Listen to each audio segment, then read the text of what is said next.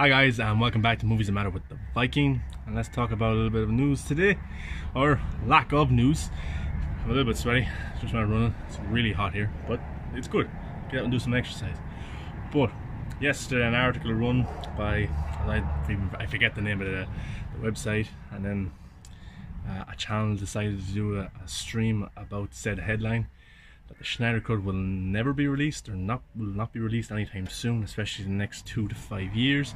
That Zack Snyder's Justice League film isn't finished, and that Warner Bros. no intention of working with Zack Snyder again, especially with him encouraging the fan base to spread his word of the existence of his cut of the film. And the article went in to say that they're not willing to pay the money that is needed to finish the Snyder Cut. They're not willing to give Zack Snyder back the reins of the DCEU, and etc. etc. etc. And I watched a bit of the stream.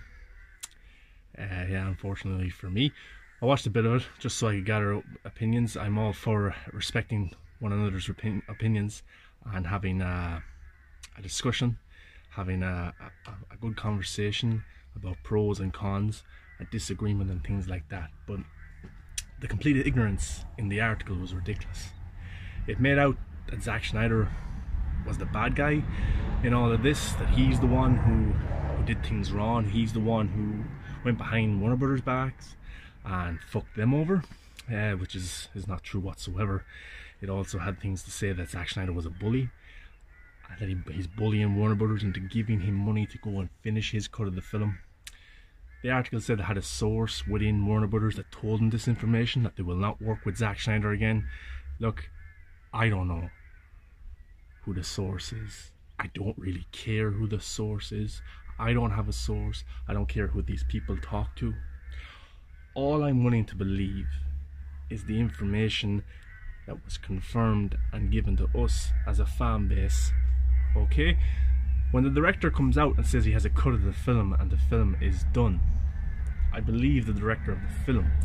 When the director comes out and says that he would like to do additional scenes to add to his cut of the film, a few scenes that he did not get the chance to shoot, etc. The man, of uh, the example, the Martian Manhunter scene, which he would have put in near the end of the film, things like that. He came out and he was he was honest in what he was saying. Jason Momoa has seen the cut of the film. Ben Affleck thinks it should be available. Gal Gadot would like to see the film also. You have people like Jay Oliva, Larry Junkie, Junkie XL. People who have all worked with Zack or worked on the film have nothing but good things to say about Zack. They said the film should be released. And then you go and call Zack Snyder a bully.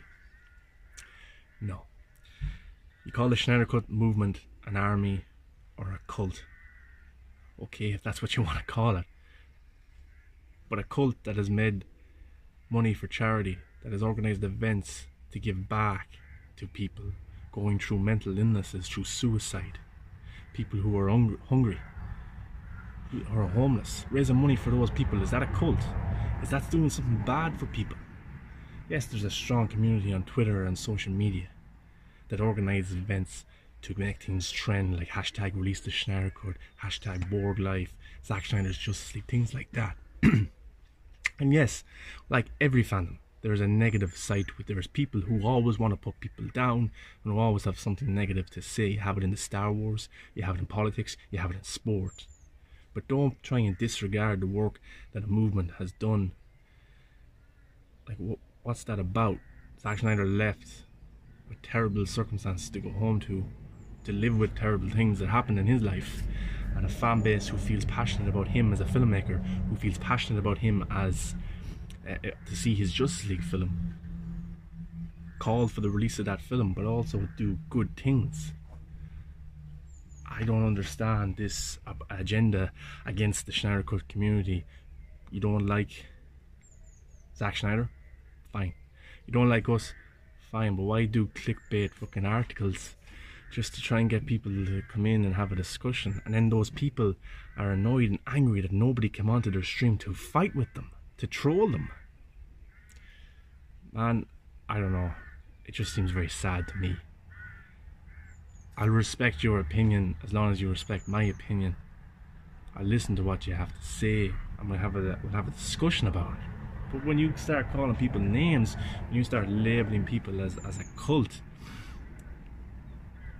and then you are uh, angry when that cult doesn't come on your channel to watch your video to fight with you about something that the director said is finished, you know, the lines are very, very messy there. But, anyways, I'll believe my sources, and one of my sources is the director of Batman vs Superman, director of Man of Steel, Watchmen.